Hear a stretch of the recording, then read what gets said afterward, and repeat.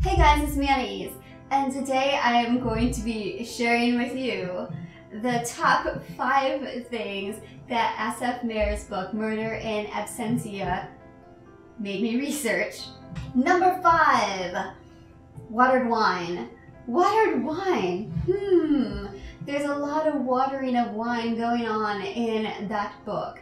And I drank a lot of wine in my days, but I haven't been pouring water into it. So I went on a journey of discovery. Let's do a little bit together, shall we? So there is something called sugar of lead, which was a deadly sweetener. And we have the question, did it kill people? Did it overdose people who liked the sweetness? So ancient Romans used sugar of a lead to sweeten their wine and it killed them. Fun fact. Um, but hey, if you're enjoying your wine and unwinding, what's a little lead? Number four, ancient sailing vessels. So I I have sanded and caulked and worked on wooden sailboats a lot growing up. Um, I helped sew sails where we had like um, we had a big 1800s style sewing machine where you have a big wheel and then you know you turn the foot on this I'll, I'll find a picture. It's this big iron thing. And modern sewing machines are not going to be tough enough to sew sails but they are. And I remember standing there in the living room feeding in as my father sewed sails. And anyway, I have, suffice to say, I spent many afternoons and days and nights of my life as a young person working on sailboats. So I think that I know a lot about, you know, that sort of thing, like repairing that. But ancient sailboats and ancient vessels in general, I hadn't done a lot of studying about. So Felix does a little bit of sailing, and so I had to look them up. They definitely looked a bit different, and they had a lot of people rowing them when um, when the wind was not cooperating. So for us, we had a motor when thing, the wind wasn't cooperating, but once in a while things would go awry. I remember one time, this isn't ancient, but this is for real. One time we got stranded in the water because the motor wouldn't work and there was no wind and we ended up getting tugged back. anyway, ancient sailing vessels. Number three, togas. So pretty much all I knew about togas was that people wear them if they join sororities or fraternities, which I would never was part of such a thing, so that didn't come up for me. Um, and I just kind of imagined one thing. But through the book, I learned that there were fancy togas for fancy events and less fancy for less fancy events. Um, let's let's give it a let's give it a look. See, we're gonna do a brief search. This is so fun to do it like this. I think. Um, what do we got? Toga.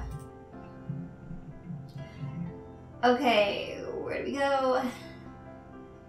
Oh my god, the first thing, one of the first things that pops up is how three ways to make a toga out of a bed sheet on WikiHow. So in case you are dying to have one, you can go ahead and have them. So a toga, which I didn't realize, is between 12 and 20 feet in length. It is so long. I have this scarf and I, I love scarves. I'm a big scarf person. I like to use them as shawls and I've wrapped my hair up in them, all kinds of things to just have that. But can you imagine having to drag around 20 feet of fabric just wrapped around your body? I think that I would have a problem. I think I would. Um, okay, so this is a fun fact. This is from Wikipedia.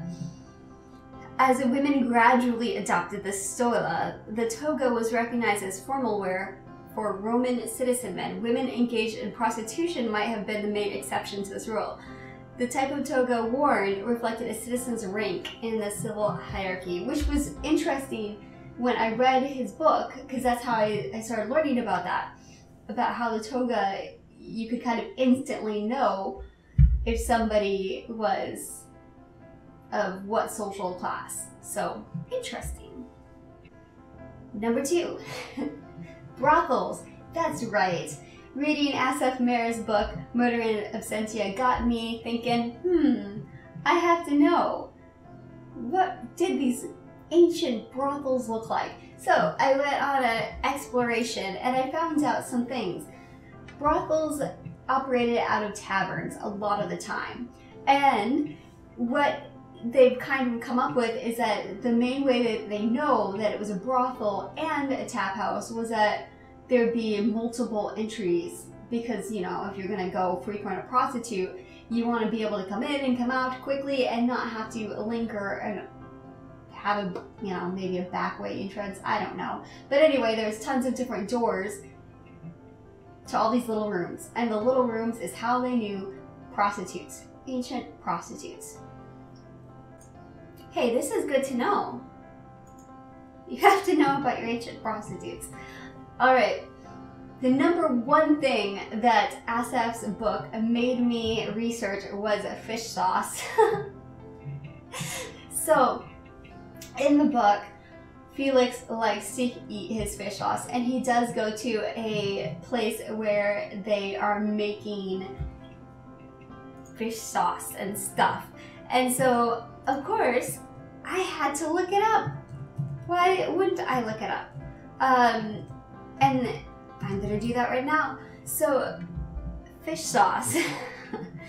they have to ferment it and it was smelly and there's pictures out there of ancient fish sauce production places. So you can see how they separated the areas for the different processes. Processes. Um, I'm not going to say that I'm an expert. I am so far from being an expert and I have not eaten fish sauce but I like to read about it.